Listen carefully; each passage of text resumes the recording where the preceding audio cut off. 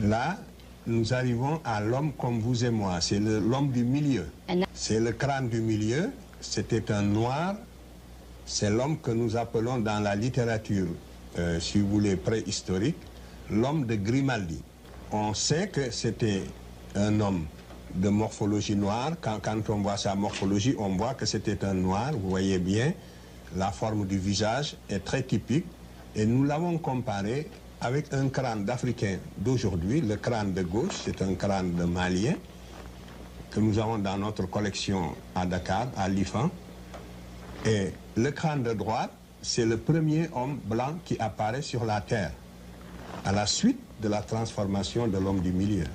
L'homme qui est à droite maintenant, on ne le verra la- L'homme qui est au milieu est entré en Europe il y a 40 000 ans.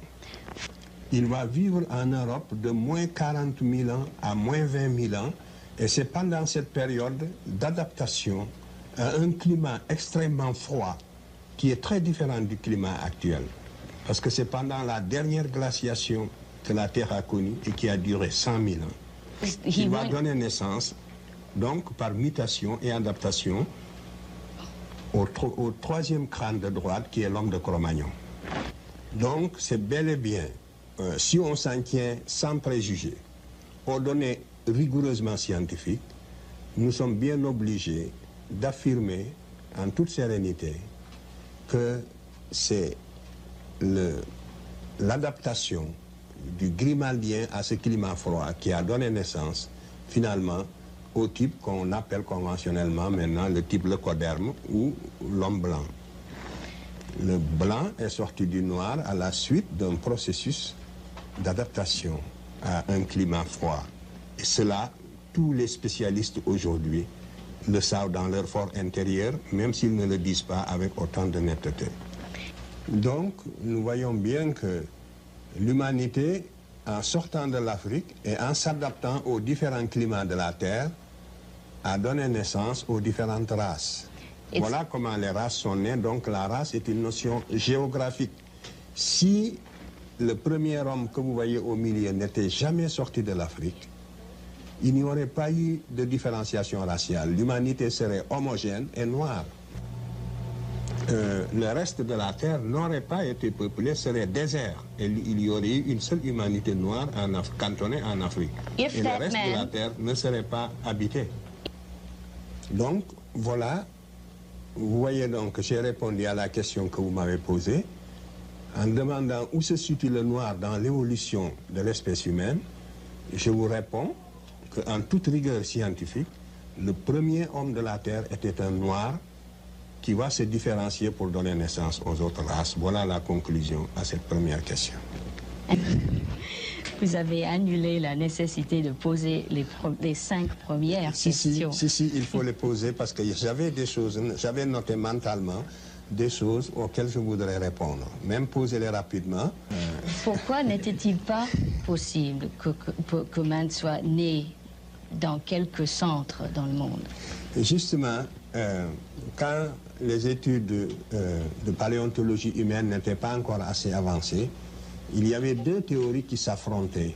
La théorie selon laquelle l'homme est né en un seul endroit et s'est différencié pour donner naissance aux autres races, celle que je viens d'exposer, avait ses défenseurs.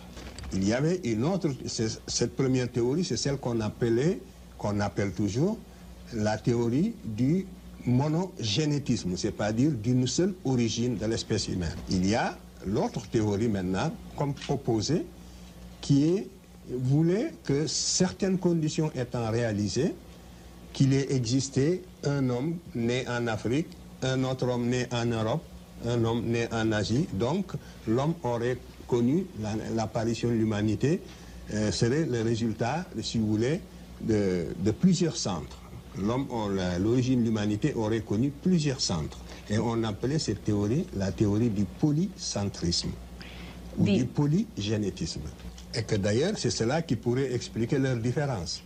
Alors, cette théorie était même la théorie du sens commun. Je ne dis pas du bon sens, mais du sens commun. C'est-à-dire, il paraissait a priori, au premier abord, plus normal qu'il ait existé un homme au niveau de chaque continent. Mais lorsqu'on y regarde de près, il y a deux faits qui sont venus infirmer cette théorie. D'abord, la nature ne passe jamais deux fois par le même point dans son évolution.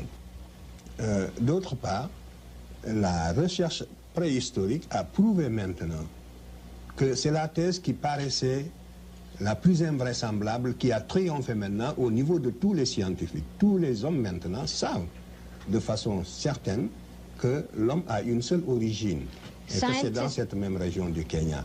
Parce que c'est là que nous trouvons, si vous voulez, tous les stades antérieurs. Tous les stades antérieurs.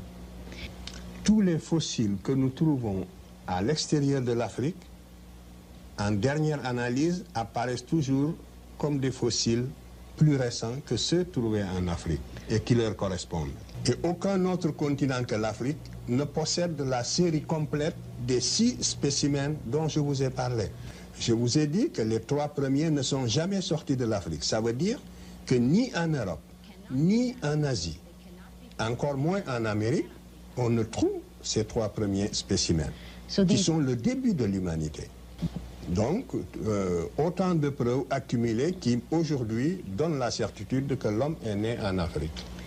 Euh, ici, en Amérique, vous n'avez que le spécimen sapiens sapiens. On n'a pas trouvé dans l'état actuel de la science, sur toute l'étendue de l'Amérique, depuis la Terre de Feu jusqu'en Alaska, il n'y a qu'un homme moderne. Et l'Amérique a été peuplée par le détroit de Bering à la fin de la dernière glaciation dont j'ai parlé. Donc, il n'existe qu'un seul spécimen, le dernier euh, ici en Amérique. Euh, en Asie, on a l'Homo erectus, l'homme de Néandertal et l'Homo sapiens. En Europe également, on a l'Homo erectus, l'homme de Néandertal et l'Homo sapiens. Et tous sont sortis de l'Afrique. Euh, les uns sont passés par l'isthme de Suez pour aller vers le sud-est asiatique et les autres sont passés par le détroit de Gibraltar pour aller à travers l'Espagne dans le midi de la France. Et à partir de là, ils ont irradié jusqu'au lac Baïkal en Extrême-Orient.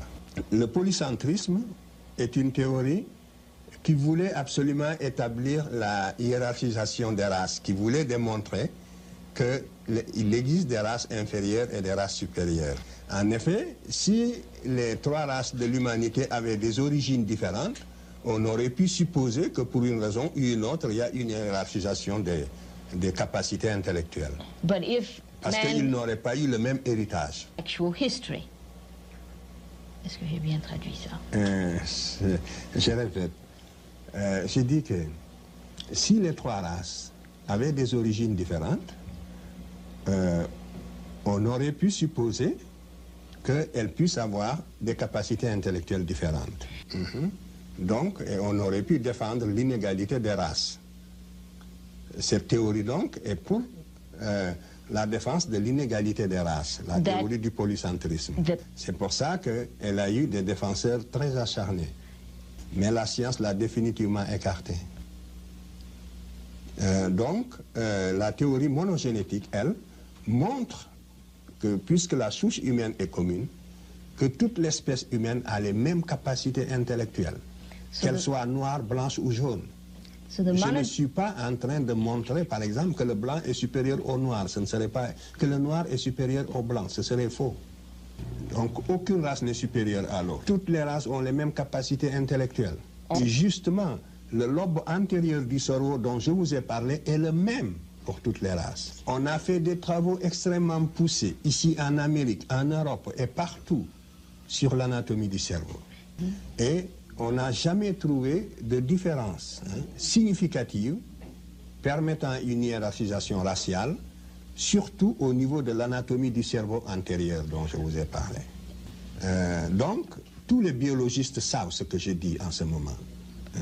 Toutes ces analyses, les résultats de ces analyses sont concluants et tous ceux qui s'occupent justement euh, de biologie hein, humaine savent tout ce que je vous ai dit aujourd'hui sur ce point-là cette question-là aussi, au niveau de tous les scientifiques sereins, objectifs, est une question qui est acquise. By the name of? Uh, Downson, c'est un géologue, géologue. A geologist, I'm sorry, he was a geologist, Mr. Downson. Il a fabriqué de toutes pièces ce, ce, fossile qui est faux. Euh, il l'a enfoui dans les sables du Sussex en Angleterre. Euh, vous voyez bien, regardez bien, vous verrez qu'il a le front haut comme un homme moderne. Il est comme nous, il a les yeux et un grand front. Mais vous voyez, regardez sa mâchoire. Sa mâchoire est, est, une mâchoire de singe, d'orang-outan, avec les deux canines. Regardez les deux canines, c'est une mâchoire de singe. Euh, c'est en 1900... Et justement, cet homme, ce, spécimen, qui, est un faux, avait donné naissance dans le domaine de l'anthropologie physique à la théorie des pré-sapiens. C'était pour démontrer que l'homo sapiens est né en Angleterre. Et vous avez ici des défenseurs, je ne sais pas si je peux les citer, mais il y a des anthropologues américains euh, qui ont épousé cette thèse-là et nous savons aujourd'hui qu'elle est fausse. Euh, en France aussi, il y a eu des anthropologues qui l'ont défendue et nous savons qu'elle est fausse aujourd'hui. Et comment a-t-on su qu'elle est fausse? C'est parce qu'il y a un autre savant anglais de bonne foi, cette fois-ci, qui l'a analysé et qui a démontré sa fausseté. C'est le professeur Oakley qui, qui travaille au British Museum et qui a démontré la fausseté de ce spécimen en 1954. Mais vous voyez, pendant près de 50 ans, le mal était déjà fait parce que la communauté scientifique était divisée en deux courants. Un courant défendant la théorie monogénétique et un courant défendant la théorie polygénétique appuyé spécialement sur ce spécimen. Donc nous voyons quand même qu'il y a des savants de bonne foi hein, et leur action compense justement celle des autres. Et quand nous les rencontrons aussi, il nous faut les saluer au passage. C'est le cas du savant Oclé dont je viens de vous parler.